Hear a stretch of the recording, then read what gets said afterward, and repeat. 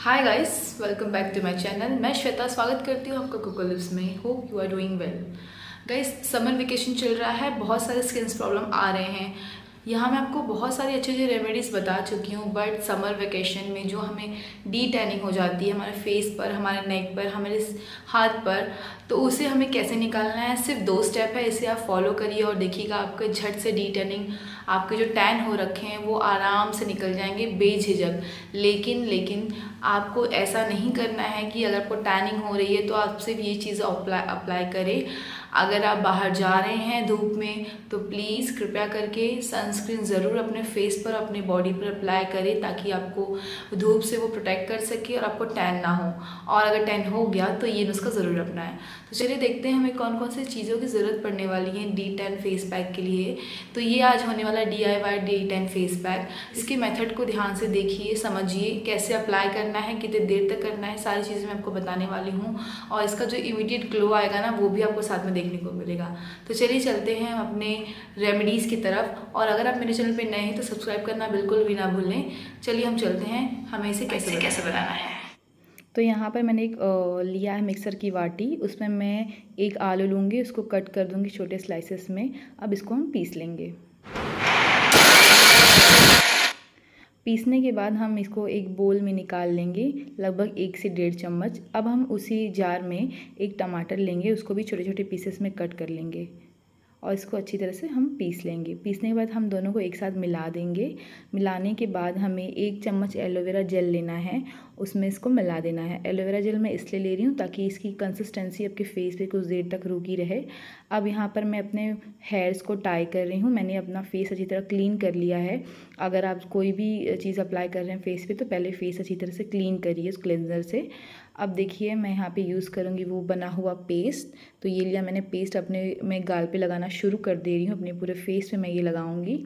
आप देख सकते हैं कि इसकी जो कंसिस्टेंसी है, वो ना मतलब कैसी एकदम पतली है। आप कोशिश करिए और थोड़ी गाढ़ी बनाने की।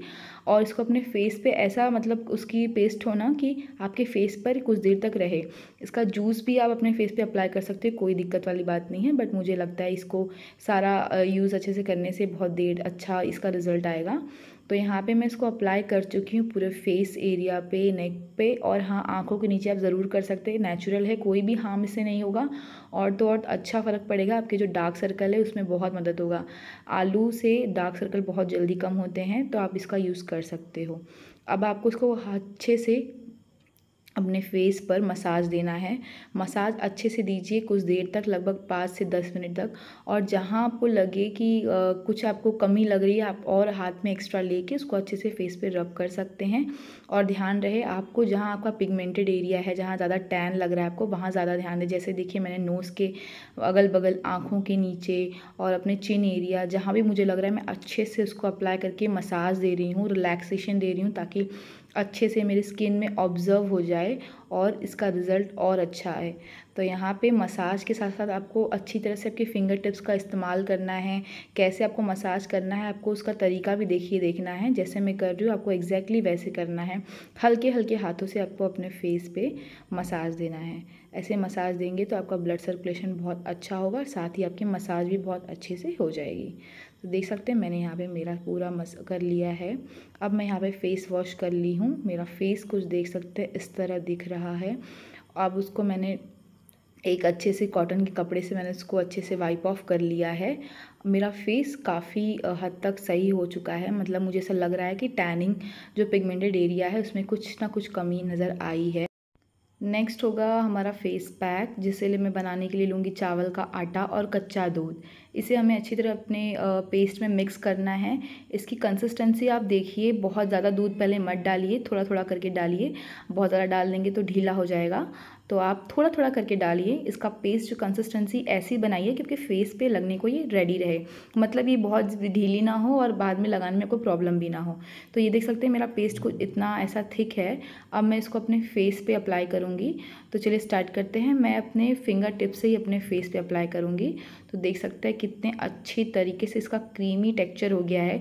ये क्या रहता रहता है ना कि मतलब साथ साथ आपकी स्किन को एक्सफोलिएट भी करता है। मतलब स्क्रब का भी काम करेगा ये। टैन हटाने के साथ साथ दूध में और चावल के आटे में टैन हटाने की मतलब टैन इतने अच्छी तरह से हटा देता है और चावल का आटे में हल्का दरदरापन रहता है, जिससे आपको अगर ब्लैक हेड्स हैं, आपके, आपकी स्किन को अच्छे से एक्सफोलिएट कर देता है स्क्रब का बहुत अच्छी तरह से काम करता है।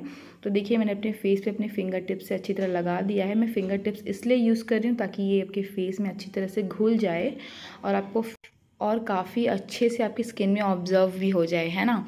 तो देखिए, मैंने इसको अच्छी तरह से अपनी आँखों के नीचे भी अप्लाई कर लिया है। आप आराम से बेझिझक इस्तेमाल कर सकते हैं, कोई भी प्रॉब्लम नहीं नेचुरल प्रोडक्ट है। आँखों के नीचे भी इस्तेमाल करेंगे तो कोई प्रॉब्लम नहीं होगा। अब मैंने इसको पंद्रह से बीस मिनट तक तकरीबन रखा है और ये बहुत अच्छी तरह से सूख चुका है। अब हमें इसे क्या करना है? वाइप ऑफ़ नहीं करना है, रगड़ना नहीं है, इसे अच्छे से धुल लेना है। धुलने के बाद आप देखिए मेरा फेस कुछ इस तरह दिख रहा है। आप मेरी पहले की वीडियो देखिए और ये मेरी अब की मेरा फेस देखिए। दोनों में कितना ज़्यादा डिफरेंस है, आप सामने देखिए। मतलब इमीडिएट ये वर्क कर रहा है। इसके बाद आपको एक चीज़ लगाना है जो कि होता है सनस्क्रीन बिल्कुल भी नहीं भूलना है। ये मस्ट है आपको अप्लाई करना। अगर आप घर में हैं, बाहर है, जहाँ भी हैं, आप सनस्क्रीन ज़रूर अप्लाई करें और अच्छी मात्रा में अप्लाई करें और उसको अप्लाई करने के बाद उसको अच्छी मसाज दें ताकि आपके फेस में अच्छे से घुल जाए और आपकी स्किन को अच्छे से प्रोटेक्ट कर पाए।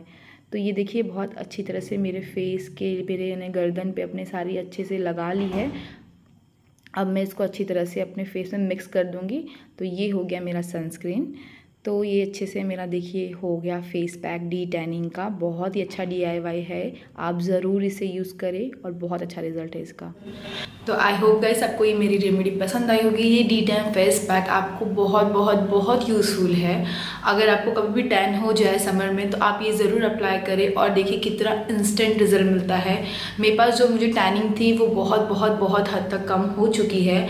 तो प्लीज़ आप ये यूज़ करें और इसको एक्सपीरियंस करें कि कितना अच्छा रिज़ल्ट देता है। तो तो मैं मिलती हूँ आपको नेक्स्ट वीडियो में और भी बहुत सारी होम रेमेडीज़ के साथ। के लिए बाय बाय गाइस